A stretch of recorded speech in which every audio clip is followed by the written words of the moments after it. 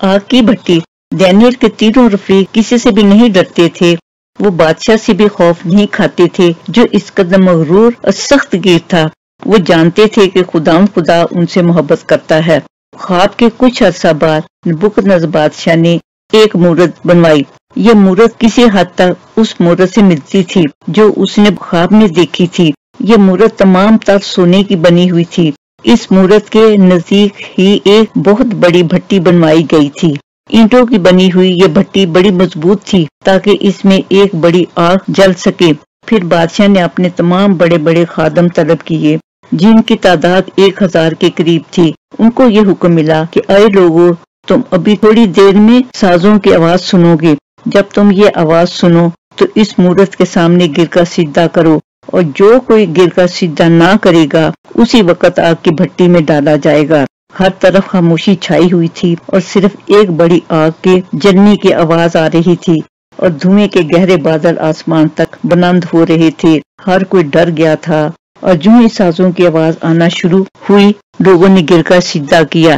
لیکن سب کے سب لوگ سیدھے میں نہ گرے، کیونکہ دینیل کے تینوں رفیق نہ ڈرے۔ اور جب سازوں کی آواز آئی تو انہوں نے سیدھا نہ کیا۔ انہیں اسی وقت بادشاہ کے سامنے پیش کیا گیا۔ بادشاہ بڑا غضبناک ہوا۔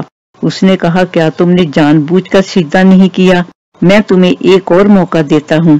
اگر تم نے اس صفحہ بھی سیدھا نہ کیا، تو میں تم کو آگ کی بھٹی میں ڈال دوں گا۔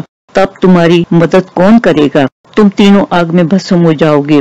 تینوں رفیق پھر بھی نہیں ڈرے تھے۔ انہوں نے کہا، اے بادشاہ، ہم اس مورت کے آگے سیدھا نہیں کر سکتے۔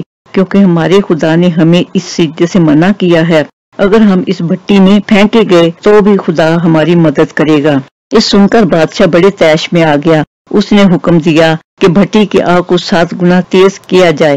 پھر بادشاہ نے اپنے لشکر کے پہلوانوں کو بلایا اور ان کو حکم دیا کہ ان تینوں کو اٹھا کر جلدی بھٹی میں ڈال دیا جائے۔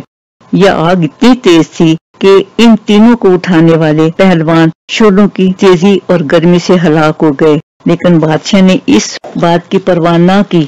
وہ تو صرف آگ کے شولوں کو دیکھ رہا تھا اور اس کی نظر ان تینوں پر تھی جو آگ میں ڈالے گئے تھے۔ اچانک بادشاہ خوف سے کانپنے لگا۔ وہ چلا کر خادموں سے کہنے لگا، کیا ہم نے ان تینوں کو آگ میں نہیں ڈالا؟ لیکن اب وہ چار ہو گئے ہیں اور یہ چوتھا انسان بھی نہیں، بلکہ فرشتہ لگتا ہے۔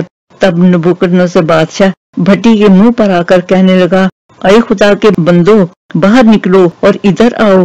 اب میں تم سے ناراض نہیں ہوں گا۔ تینوں نے بادشاہ کو حکم مانا اور وہ تینوں آگ میں جو چلتے ہوئے باہر آگے جیسے یہ آگ ان کے لیے گرم ہی نہ تھی۔ لیکن جب وہ باہر نکلے تو ان کے ساتھ فرشتہ نہیں تھا۔ فرشتہ آسمان پر چلا گیا تھا۔ یہ فرشتہ صرف ان کی حفاظت کرنے آیا تھا۔